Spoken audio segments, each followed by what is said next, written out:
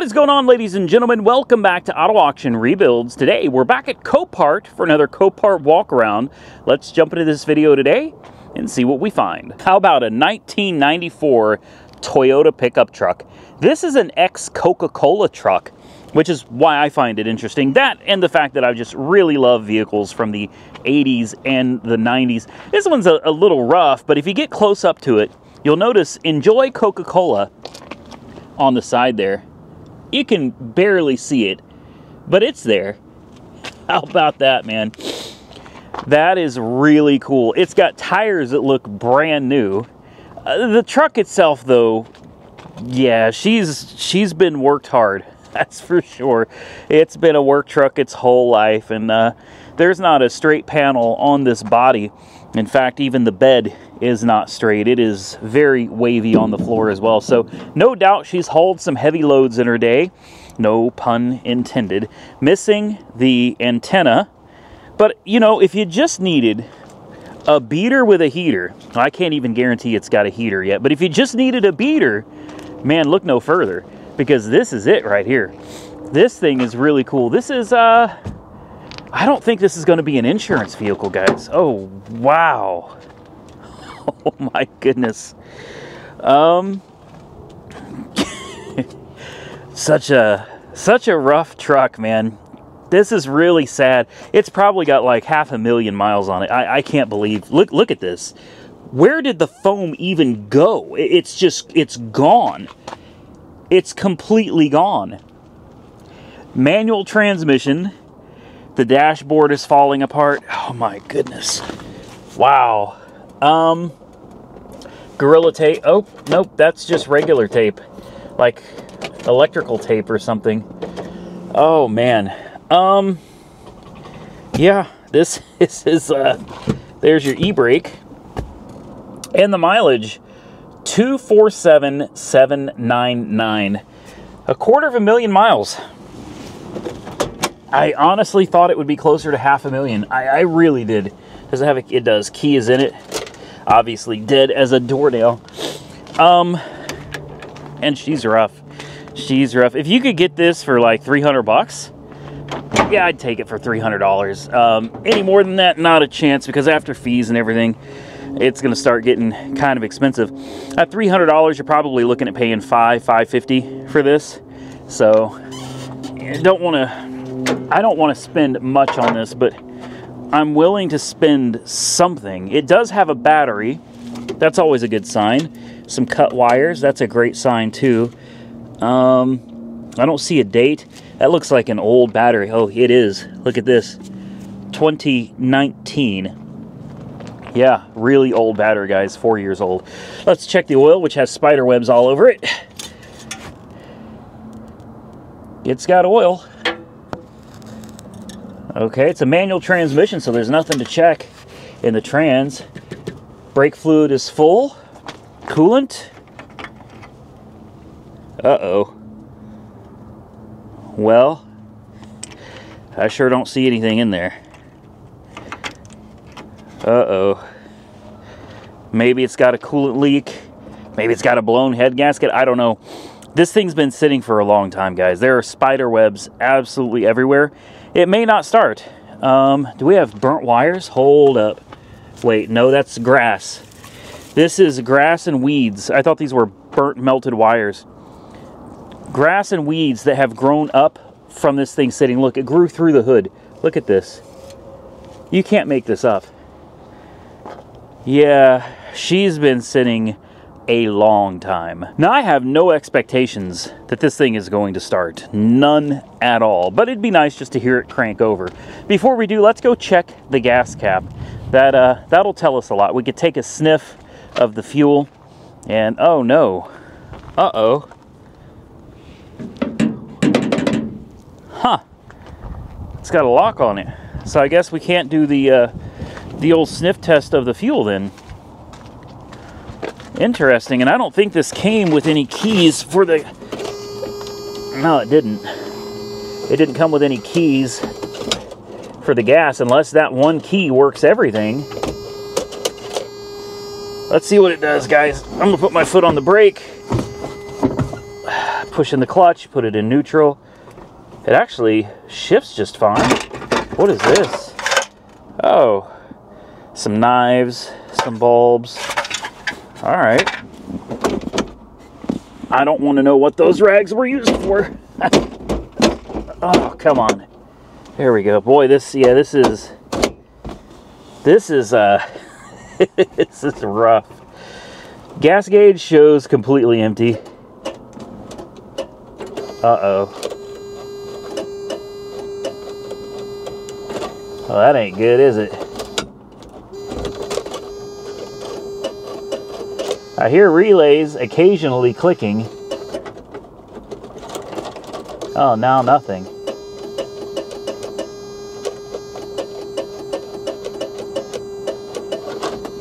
Well, I guess that's a wrap. Huh. So, I can tell you the issue that we're having is a power issue. Could be a ground. So I'm going to move from the battery ground. I'm going to find somewhere else to stick it, like right here on the engine. Maybe that'll help. Um, we've got a power issue. I can tell because when I push on the brakes, you can hear that annoying buzzer get quieter. It's not doing that now. Yeah. There we go. The starter was stuck. It's been so long since this thing has been started or cranked over, the starter was frozen.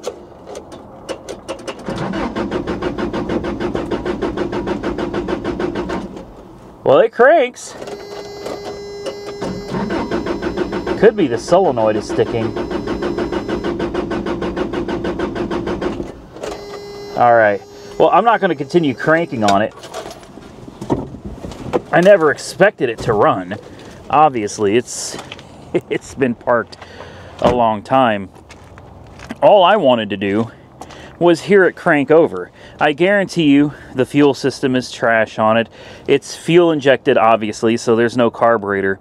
Um, carburetor would probably be a lot easier on something like this. Um, yeah, it kind of sucks that it's fuel injected because your fuel injectors, as they sit, the gas varnishes inside of it, kind of like in a carburetor bowl, right?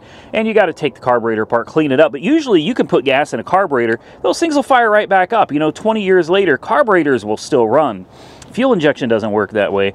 The fuel sits in the rail, sits in the injector, sits in the regulator, and it just varnishes and it clogs everything up. Before you know it, you need a, a fuel rail, you need injectors, a regulator, a fuel pump, fuel filter.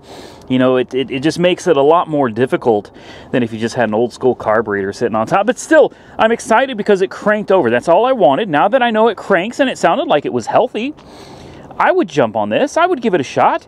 Maybe we could get it running and driving down the road. What I would do with it, I have no idea. I have no use for it, but it's another great vehicle from the 90s. Next, we've got a Trailblazer that claims it has a V8 under the hood. Both fenders have this little badge that says V8 on it. And for the life of me, I cannot remember a Trailblazer that came with a V8 except for the Trailblazer SS.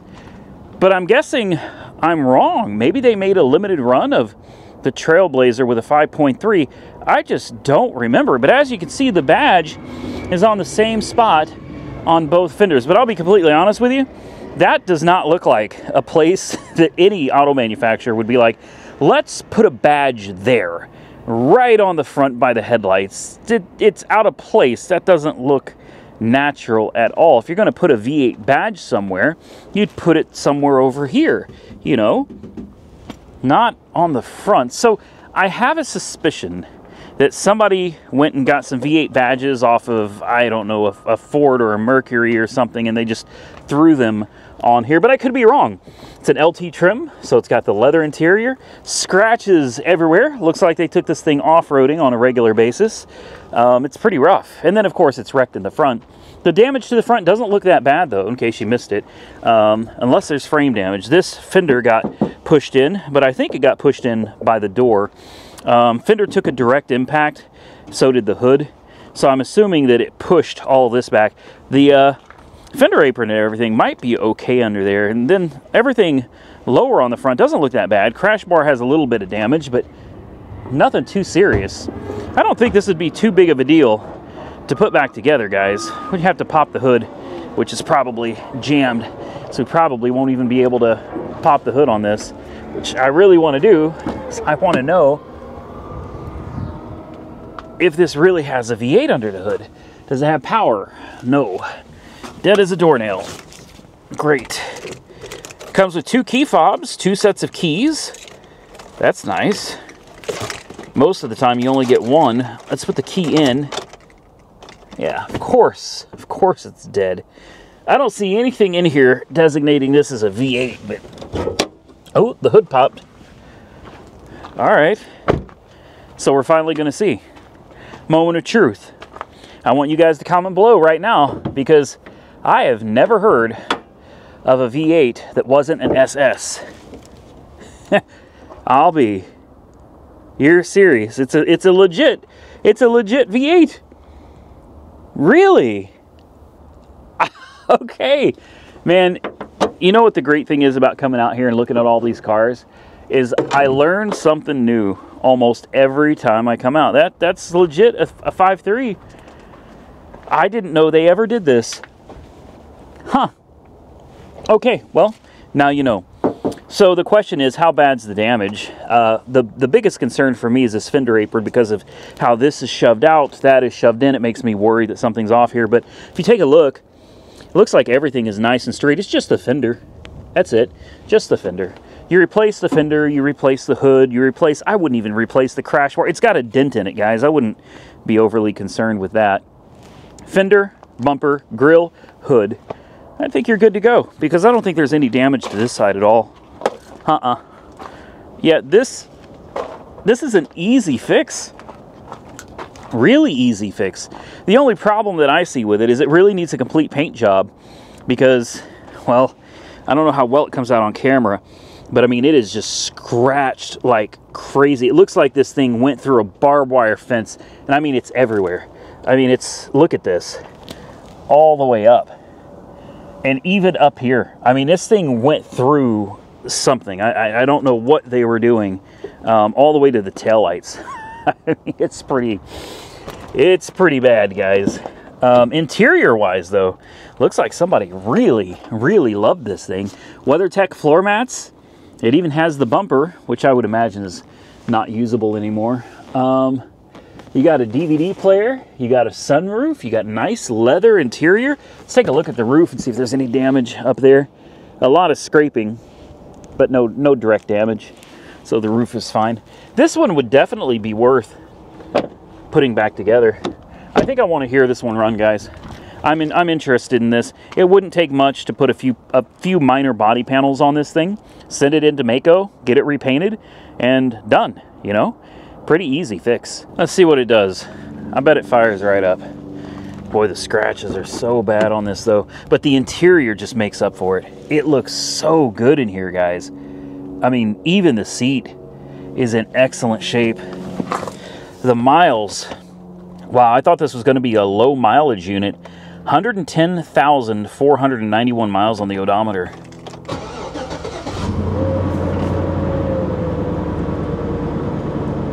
Of course it runs.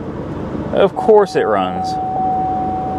Oil pressure is pegged out to 80 psi. That's pretty good oil pressure there. Not bad. This thing runs like a top.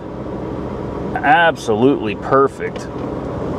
You got uh, power windows, power locks, heated seats, power seats.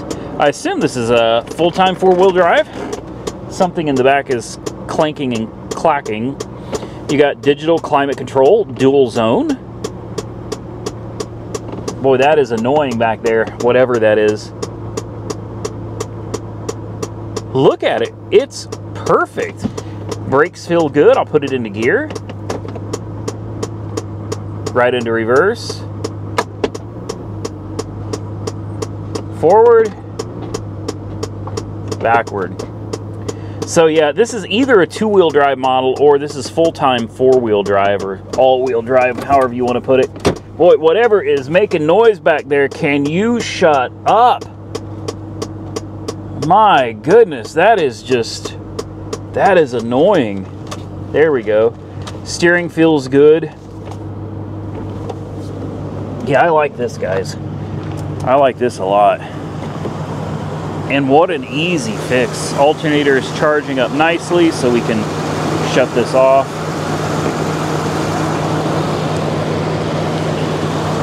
You could balance a nickel on this engine. Like, no joke. This thing runs that damn smooth. Listen to it. Wow. This is a good one, guys.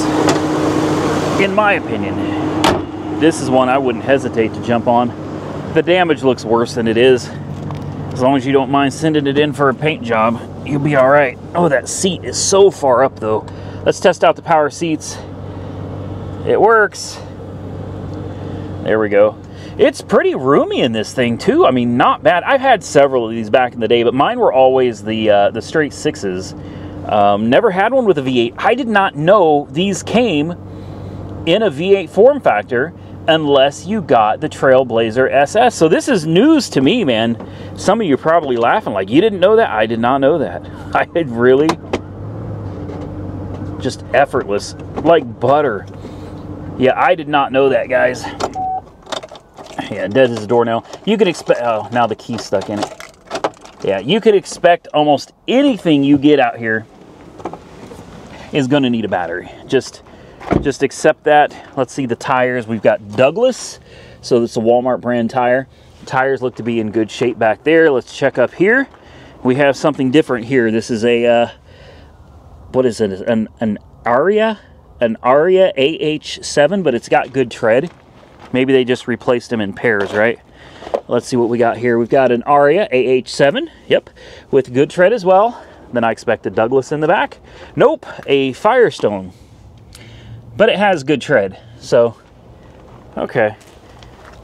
It's got mismatched tires, but they're all good. They'll all last a while, so with that, we're gonna move on to the next one. Man, I almost hate to show this car because of how smashed it is, but dang it a 92 Buick Park Avenue.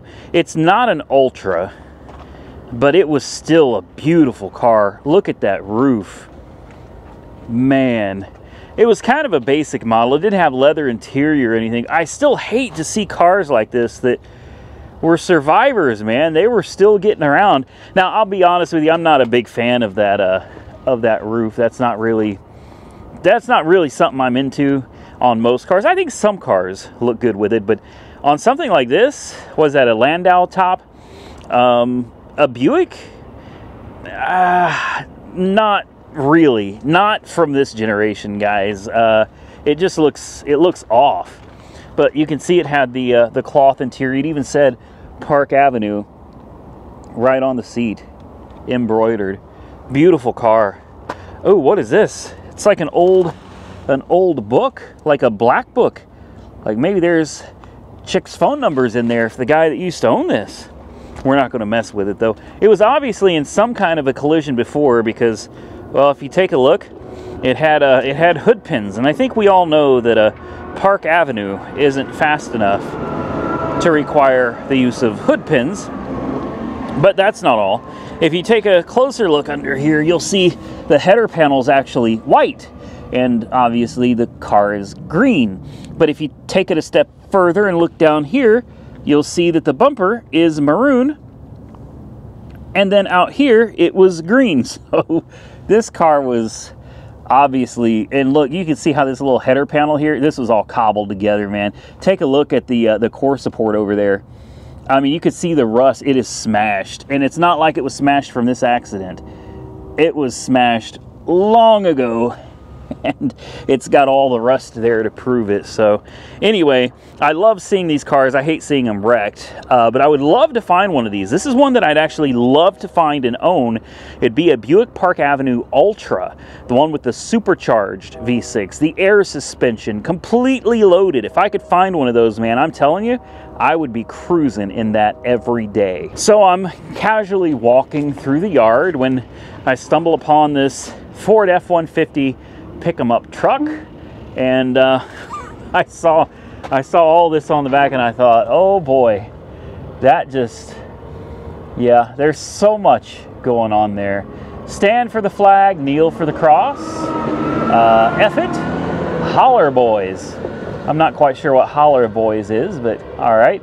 Of course, you've got the redneck life, and you know, right above it, it only makes sense. You got the Trump 2024 sticker as well. This truck is, uh, man, she's decked out, guys. That's what I'm trying to tell you. You got some camo for the seats down there in the bed. This thing was, uh, this thing was decked out. It's ready to go. Oh, and don't forget the don't tread on me sticker on the back. It's got it all, man. It's got it all. Is that Woody Woodpecker? An angry Woody Woodpecker? I'm probably wrong about that. I don't know what that one means, so you guys can you can holler at me down below. Let's see what was wrong with it.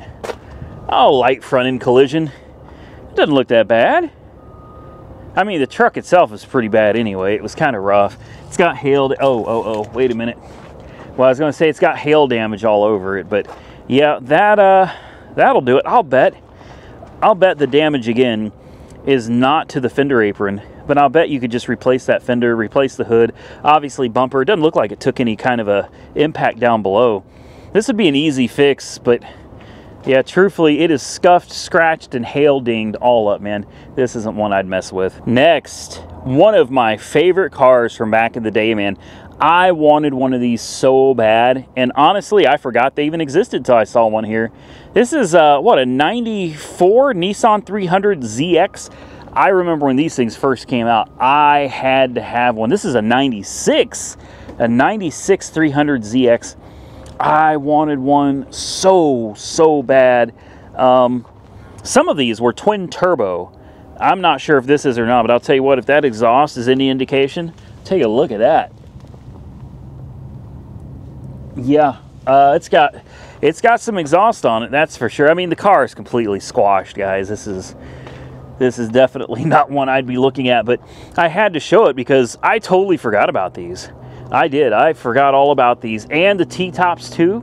Are you serious? Um, this one's... Yeah, it's it's done. This one's finished. I'd love to know what's under the hood, but I guarantee you the hood is stuck. This car had a hell of a life, man. I don't know if you can tell, but it's hail damaged everywhere. So not only was the car technically totaled from the hail damage, but somebody just they had a they had a time with this man. This thing got all kinds of boogered up. Take a look at that dash instrument cluster. 160 on the speedometer, 9,000 is where it peaks out on RPMs. Looks like it redlines at 7.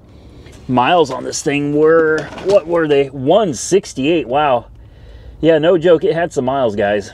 And it's an automatic. I don't know if you can see the shifter down there, but she's an automatic.